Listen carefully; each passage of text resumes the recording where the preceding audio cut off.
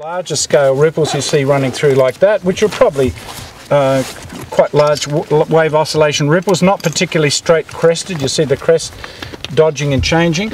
And then you've got another set of ripples that's roughly at, at right angles. Almost invariably, um, that's the sort of thing that people describe from tidal flats.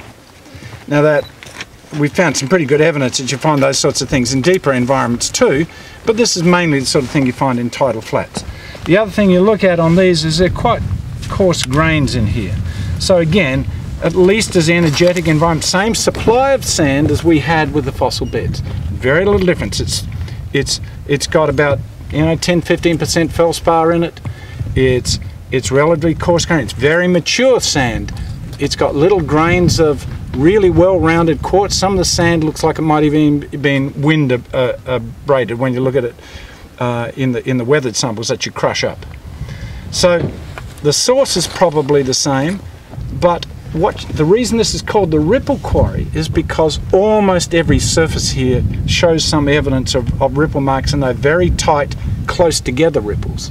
And that tends to suggest much shallower water the sort of stuff that you might expect to find on a tidal flat.